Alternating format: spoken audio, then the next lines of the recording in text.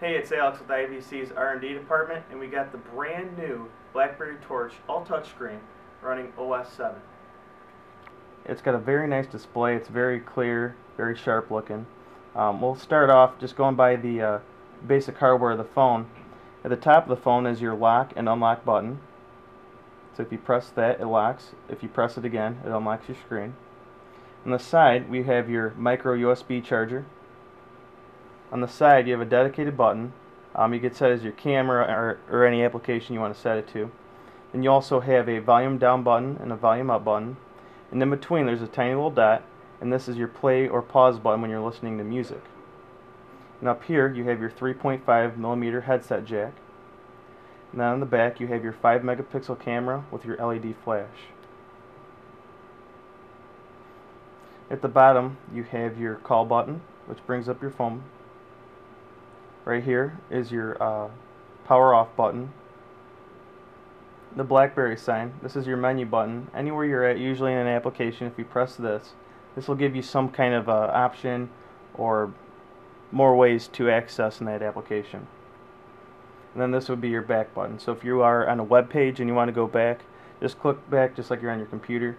I'll take you back. And you also have your optical mouse here. So you can either use your, your finger on the screen and you can slide around or you can just use that pad right there. And it also presses in if you want to select on an application. At the top you'll notice your volume control. So you can set different note uh, you can set different profiles if you want to be vibrate or loud. And you can easily change sound and alerts by going through the list right here. Also at the top, if you have any notification, there's a small blank rectangle there. If you press on that, They'll give you any notification right there for you. Then you also have your search button. And this will easily search the web or your phone. Anything that you can search for, it'll do it all in one spot right there. At the top, if you press right at the time there, it'll bring up all your network connections. So you have your mobile network, your Wi-Fi, and your Bluetooth. And then you also have different options down here for each profile up there. With OS 7, they make it very smooth for you to navigate around. So if you want to slide around to downloads or just all your applications, you can easily just drag up and see as many as you want. Or if you just want to see the top two rows, you can just drag it to show the top two rows, let go, and there you go. Music is very well incorporated on the new BlackBerry Torch. If you press that, you can list all of your music right there by songs, artists, albums, or your own playlist that you've made. So if we go to all songs,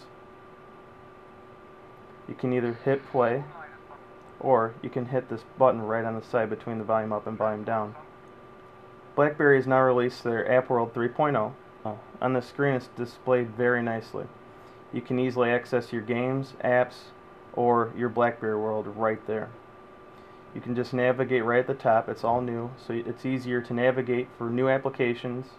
Um, you can either search App World right at the top, or if you're looking for just a new game, press on games.